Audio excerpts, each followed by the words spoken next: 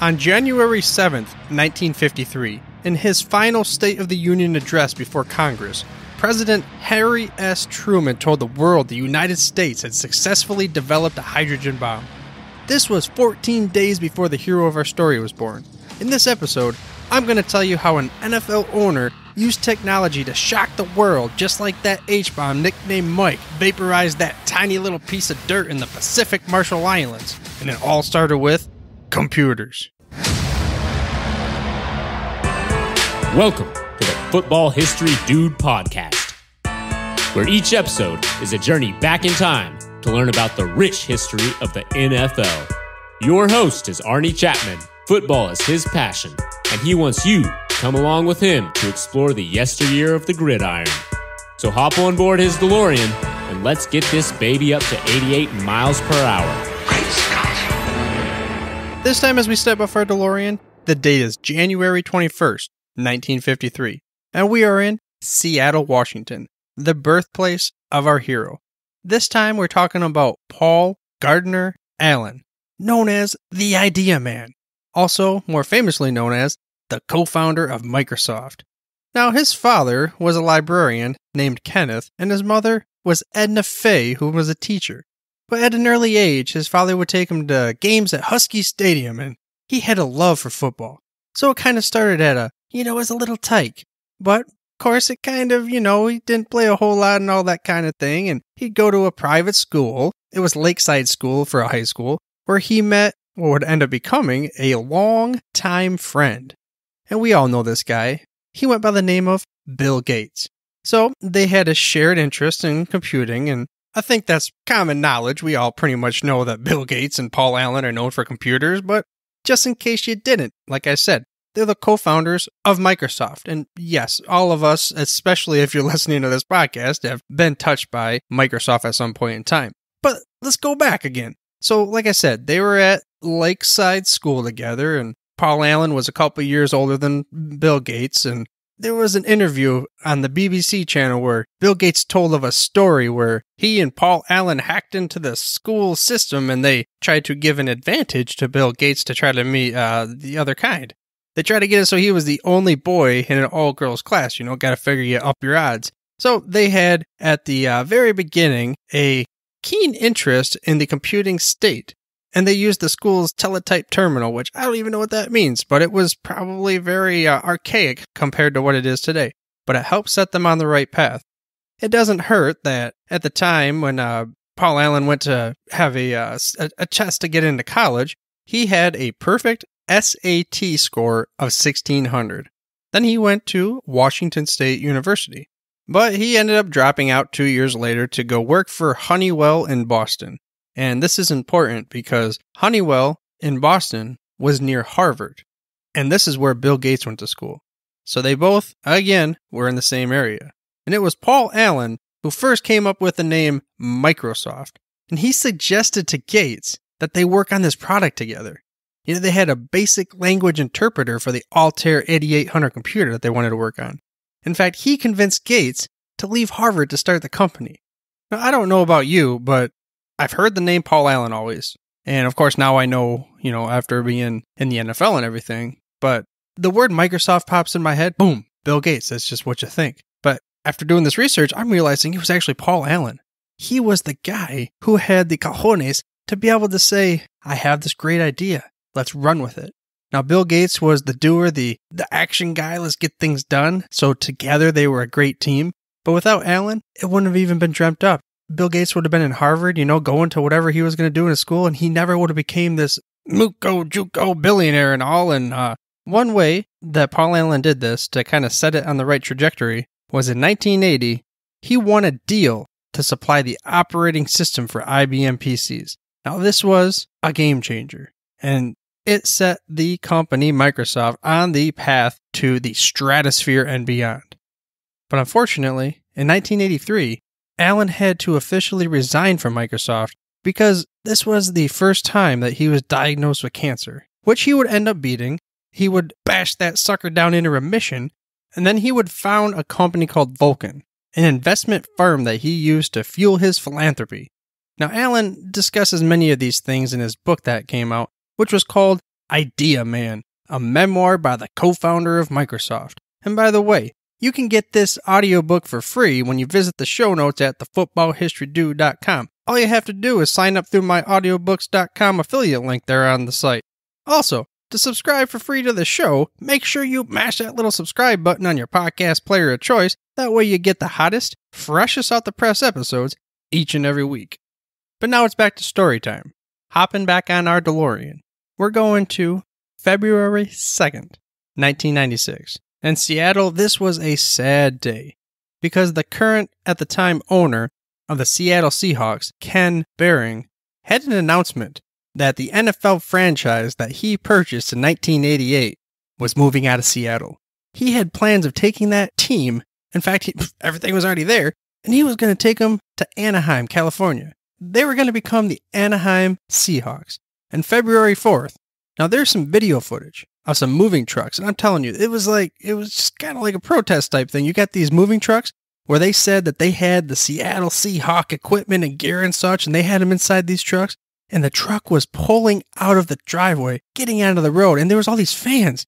They were like pushing the truck back, you know, kind of like the dude wrapping himself around a tree and that kind of thing, but it was for the team and they wanted to keep their franchise in Seattle.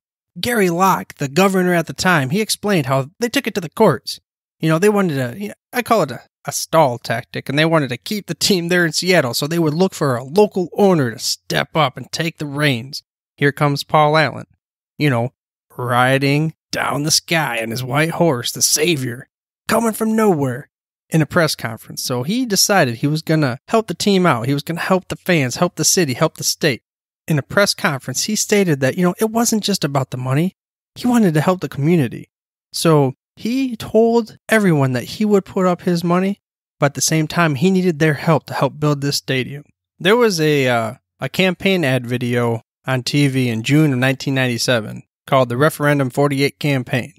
Now, basically, this is where he explained to the community that, you know, he's, he says, hey, I'm going to help you out.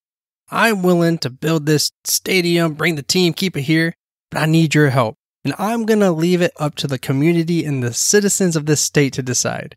Now, of course, you know, that probably means some more tax money to help build the stadium and such. So it, it does have an impact in other ways. But he said, we're going to have a vote. June 17th was when the vote was going to happen. And it was close. I mean, they said that they were sweating bullets up and for a while there. And I bet Allen, if you looked like him, he was a you know kind of a mountain man looking dude. So I'm sure his, his beard was getting a little wet. And it was up to the, the wee hours of the night, the witching hour, I guess you could say. And it was, like I said, not looking good. They had more votes on the north or the no side for a while than they did the yes side. And it wasn't looking like they were going to have a stadium or a team stay in Seattle, and they were going to have to deal with their team going down to Anaheim, California. But at the last second, at the last minutes, the west side of the state of Washington, they voted yes. So you got to imagine how crazy that must have been to feel like you got your team back. You win. So Paul Allen, of course, a man of the people, he built the stadium with his family with the eyes of the fans in mind. The stadium in Seattle is very famous. I mean, for being one of the loudest venues in the nation. And one of the reasons because Paul Allen built it like the Washington Huskies stadium that he went to as a boy. Well, again, with the fans in mind.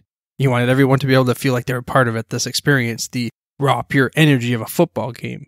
I mean, we all remember that Marshawn Lynch beast mode moment of the earthquake, beastquake that we talked about in the past, and it would not have happened if they didn't build the stadium that the way they did.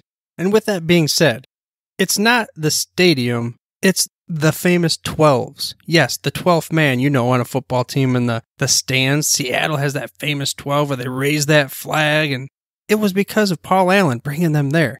They said that when Paul Allen was the one raising the flag, the fans went crazy. They loved their owner so much and their savior for keeping that stadium, that team, that everything in their city which we talk about a little bit later for what happens down the road. You all know what's coming up. But they just loved this guy. So, of course, you know, after having the team for a little bit, he had to hire a, uh, a proven coach. And that coach would be Mike Holmgren, who had a proven record already. But when he was with the Seahawks there at the beginning, it was okay. But uh, I would say that the highlight was after the 2005 season when he took the Seattle Seahawks to their first ever Super Bowl appearance. Now, of course, they would lose to the Steelers at Ford's Field 21 to 10. but it was the beginning, the glimmer of hope. Again, never would have happened if Allen let that team walk away. Then probably the biggest move that he made as far as I'll say the, the administrative duties as a general man, eh, nah, an owner, he would hire Pete Carroll to be his coach in 2010.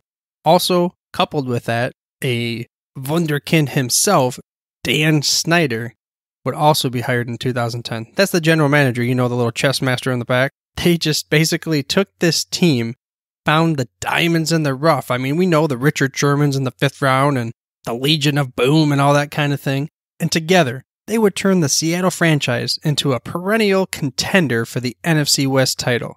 But then, after the 2013 season, they won the Super Bowl. Their first ever Super Bowl victory, and you got to believe that the crowds in the streets for that parade, they were going nuts, bananas, bananas, crazy. And a lot of it had to do with just thanking Paul Allen for giving them that hope and being willing to just put the faith in the city and put them on his back to be able to keep the team in that city for the fans and, and everyone alike. But of course, you know, the following year they would lose the Super Bowl and one of the most memorable plays of all time against the Patriots, which I'm um, still not sure why they didn't hand it off to Beast Mode. We talked about Beast Mode earlier, and of course, the uh, famous Beastquake. But that play would never have happened if Allen let the team walk away from Seattle. Now, speaking of the Beast Mode run, watching that game would have been even more fun if you had some skin in the game on DraftKings. Which, by the way, you can get a free entry into a DraftKings tournament today by heading to the footballhistorydude.com slash DraftKings. Again, you can get your free entry into a DraftKings tournament by heading over to the footballhistorydude.com slash DraftKings. Now, he also owned the Portland Trailblazers and was a minority owner of the Seattle Sounders FC, you know, the professional soccer club there up in Seattle. Now, with all this, he never wanted or needed publicity and he didn't want to be in the spotlight, but there were many reasons why he could have and did. Now, one of them, of course, is Forbes had Allen with a net worth as of 10 3 18 of $20.3 billion. Number 44, richest man in the world. Of course, I mean, he used this money for so many things and it personal and for the greater good, but I don't think most people, at least I didn't, realize how much of an impact this guy had on society as a whole. From a personal perspective, one of the cool things that I found is that he had a $200 million super yacht that was 414 feet that was called Octopus. Now, this thing was state of the art, so it would cost $384,000 a week. Yeah, that's a week to operate.